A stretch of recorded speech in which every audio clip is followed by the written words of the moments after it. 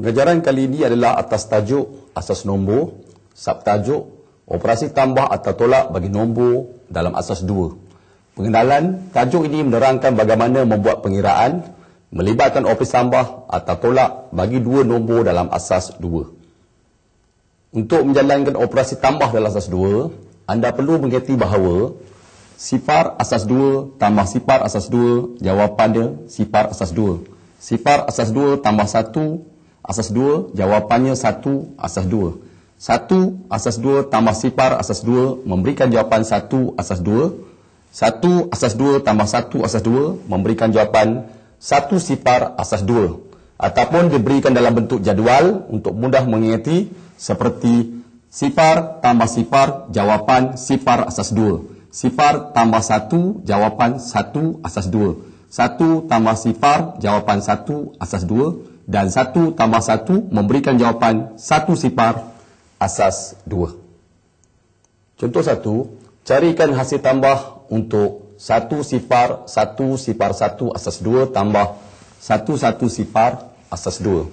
Untuk melakukan penyelesaian, soalan ditulis dalam bentuk satu sifar satu sifar satu asas dua ke arah bawah tambah satu satu sifar asas dua. Satu tambah sifar satu sifar tambah satu satu satu tambah satu satu sifar. Tulis sifar di sini letakkan satu di atas sifar. Satu tambah sifar, satu dan satu ni turun ke bawah. So, jawapan yang diperolehi adalah satu, satu sifar, satu, satu asas dua. Contoh yang kedua pula, soalan berbunyi carikan hasil tambah untuk satu, satu sifar, satu asas dua tambah satu, satu sifar, asas dua. Jadi soalan ditulis satu satu sifar satu asas dua tambah satu satu sifar asas dua. Satu tambah sifar satu sifar tambah satu satu satu tambah satu dua. Dalam asas dua tidak ada nombor dua. Oleh kerana itu satu tambah satu ditulis satu sifar. Tulis sifar di sini naik satu di atas. Satu tambah satu, dua. Tidak boleh tulis dua di sini. Sebab dalam asas dua, tidak ada nombor dua. Satu tambah satu, jawapan satu sifar. Tulis sifar di sini, letak satu di sini. Dan satu diturunkan ke bawah. Jawapan adalah satu sifar sifar, satu satu asas dua. Selain daripada itu, kita juga boleh jalankan operasi tambah ataupun operasi tolak yang melibatkan nombor dalam asas dua mengikut langkah-langkah berikut. Ada tiga langkah yang perlu dipatuhi. Langkah yang pertama, tukarkan nombor dalam asas 2 kepada nombor dalam asas 10. Langkah yang kedua yang perlu dipatuhi, lakukan operasi pengiraan yang dikehendaki. Sama ada operasi penambahan atau operasi penolakan. Yang ketiga, tukarkan hasil operasi pengiraan kepada nombor dalam asas 2 yang dikehendaki. Untuk soalan contoh tiga, soalan berbunyi carikan hasil tambah untuk satu sifar satu satu asas dua tambah satu satu satu asas dua. Di bawah disediakan satu jadual di mana kita bergerak daripada kanan ke kiri. Kita menulis dua berkuasa sifar, dua berkuasa satu, dua berkuasa dua, dua berkuasa tiga, dua berkuasa empat dan seterusnya. Dua berkuasa empat bersama dengan enam belas, dua berkuasa tiga, lapan, dua berkuasa dua, nilai dia empat, 2 kuasa 1 nilai dia 2, 2 berkuasa sifar nilai dia 1. Kita pindahkan soalan ke dalam jadual berkenaan. Iaitu kita menulis 1 sifar 1 1. Nombor 1 menunjukkan nombor 8 digunakan. Nombor sifar menunjukkan 4 tak digunakan. Jadi yang digunakan adalah 8, 2 dan 1. 8 tambah 2 tambah 1 memberikan jawapan 11. Kemudian kita pindahkan satu-satu-satu ke dalam jadual dan kita menulis satu, satu, satu. Menunjukkan nombor empat digunakan, satu menunjukkan dua digunakan, satu menunjukkan satu digunakan. Oleh itu, empat tambah dua tambah satu, tujuh. Oleh kerana kita dapati operasi tambah yang digunakan, saya letakkan operasi tambah di sini dan sebelas tambah tujuh melahirkan lapan belas. Dan 18 kita dapati daripada 16 nombor di sini tambah dengan 2 nombor di sini. Jadi nombor 16 dan nombor 2 digunakan, jadi kita gantikan di sini satu, di sini pun satu. Yang lain tidak digunakan, digantikan dengan sifar. Sini pun sifar, sini pun sifar.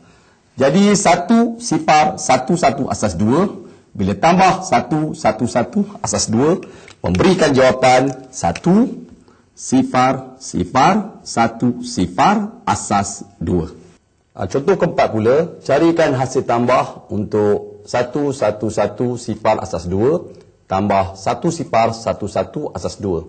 Kita pindahkan kedua-dua nombor ke dalam jadual di mana kita menulis satu satu satu sifar. Kemudian kita pindahkan juga satu sifar satu satu dalam jadual. Jadi untuk yang di atas ni bermaksud nombor 8. Nombor 1 mewakili 8 digunakan. Nombor 1 4 digunakan. Nombor 1 2 digunakan. 8 tambah 4 tambah 2 kita memperolehi 14. Untuk yang kedua pula nombor 1 8 digunakan. Sifar 4 tak digunakan. Nombor 1 2 digunakan. Nombor 1 1 digunakan. Bermaksud 8 tambah 2 10. 10 tambah 1 11. Dan kita jalankan operasi penambahan. 14 tambah 11 jawapan 25. 25 diperolehi daripada 16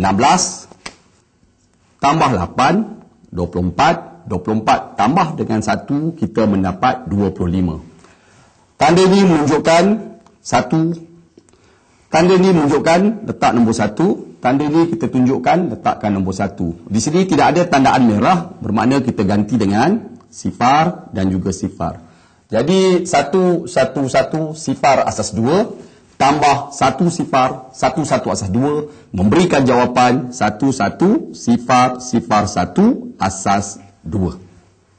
Untuk contoh lima, carikan hasil tolak untuk satu sifar satu satu asas dua tolak satu satu sifar asas dua. Kita pindahkan kedua-dua nombor dalam jadual di mana kita menulis satu sifar satu satu. Satu melambangkan lapan digunakan, sifar empat tak digunakan, satu, dua digunakan, satu, satu digunakan. Lapan tambah dua tambah satu memberikan jawapan sebelas.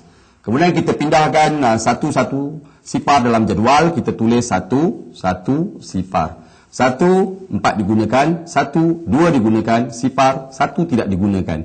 Oleh itu, empat tambah dua memberikan jawapan enam.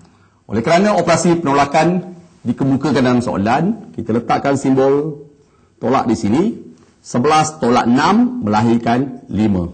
Dan 5 diperolehi daripada 4 tambah 1. Oleh itu, tandaan di sini kita letakkan satu di bawah. Ada tandaan di sini, kita letak satu di bawah. Di sini tidak ada tandaan, di bawah kita gantikan dengan sifar. Jadi jawapan adalah satu sifar satu asas dua. Di sini saya nak tunjukkan keedah lain untuk mendapatkan jawapan. Untuk contoh 6, carikan hasil tolak untuk 11 sifar 1 asas 2, tolak 111 asas 2. Kita tuliskan dua nombor perkenaan iaitu 11 sifar 1 asas 2, tolak 111 asas 2. 1 tolak 1 sifar Sifar tolak satu tidak boleh. Jadi kita pinjam daripada nombor di sebelah. Oleh kerana asas dua, bila dipinjam diwakili oleh dua. Nombor di sini satu, bila dipinjam tinggal nombor di belakang satu, iaitu sifar. Dua tambah sifar, dua. Dua tolak satu, satu. Sifar tolak satu tidak boleh ditolak. Sifar lebih kecil daripada satu. Kita pinjam dari sebelah, mewakili dua.